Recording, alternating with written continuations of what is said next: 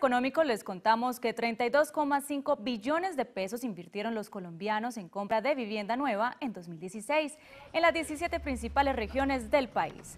La cifra supera con 2,1 billones de pesos más la inversión en vivienda de 2015, que fue la del 7,2%.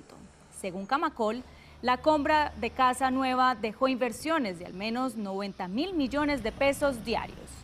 El año pasado se comercializaron 178.300 hogares nuevos en el país, 2,6% menos que en 2015. En 2016 se dio inicio a la construcción de 135.400 unidades sin lanzamiento de proyectos con 177.900 unidades de vivienda.